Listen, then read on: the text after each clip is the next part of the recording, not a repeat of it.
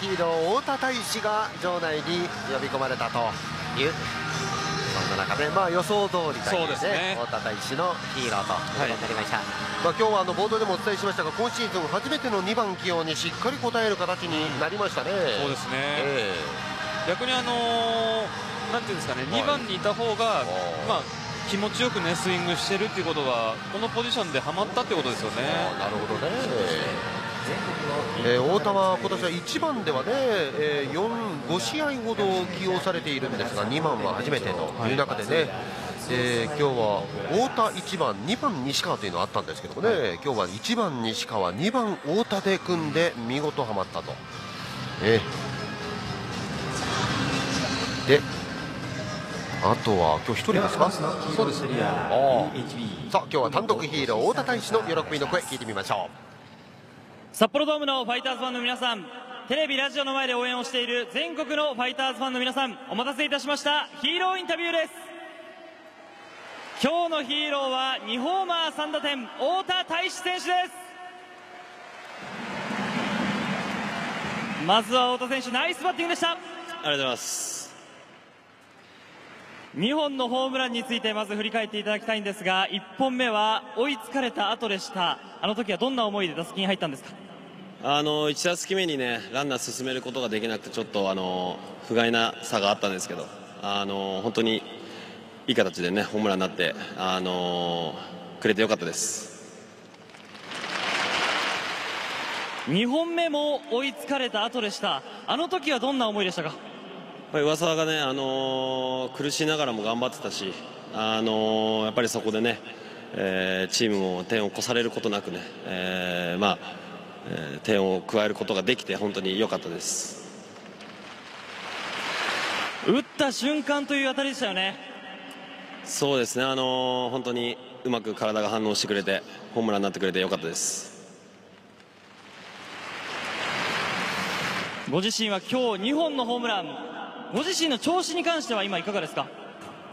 いやまだまだだと思いますし、あの本当に1年間通してね活躍できるように、えー、毎日練習も頑張ってますし準備もしてますし、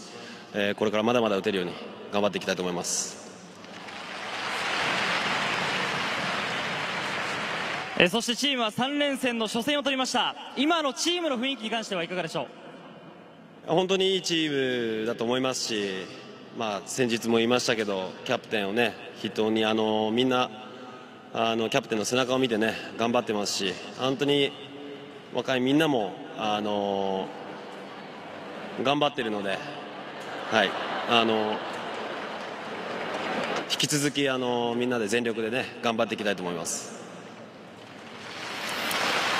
さあそれでは最後に「ハッシュタグヒーロー質問」に来た質問にお答えをいただきます。太田選手に対する質問はホームランを打ってダイヤモンドを回っている時どんなことを考えながら回っていますかという質問なんですが今日は2本のホームラン2回回りました。どんな思いで回ってるんですか、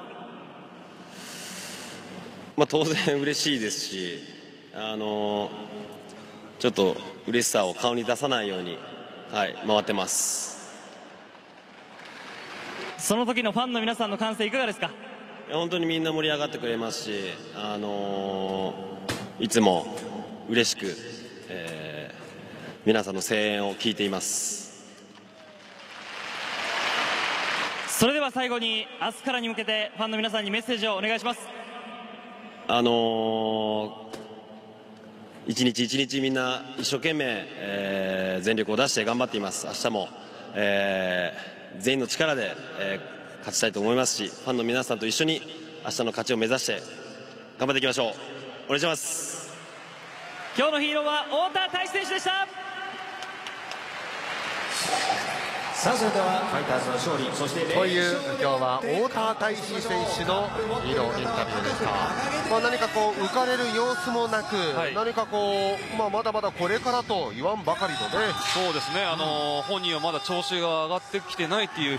表現してましたから、うん、本当にこうもっともっと楽しみな選手になってくれることを期待してますよね。よね。さあでその太田大志選手の2本のホームランが今日出ましたので、えー、恒例の日本ハムホームランソーセージ賞は今日は2ケースプレゼントさせていただきます、えー、ということで、えー、こちらはガオラのプレゼント。えー検索していただいてどしどしご応募ください。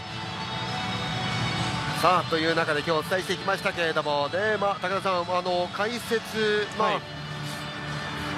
わゆるシングルで最初から最後で、しかもこういったいいゲーム僅差のゲームになりましたけれども、はい。改めてやはり、まあ、ピッチャーがしっかりと抑えると、うんまあ、こういった展開になるんですね。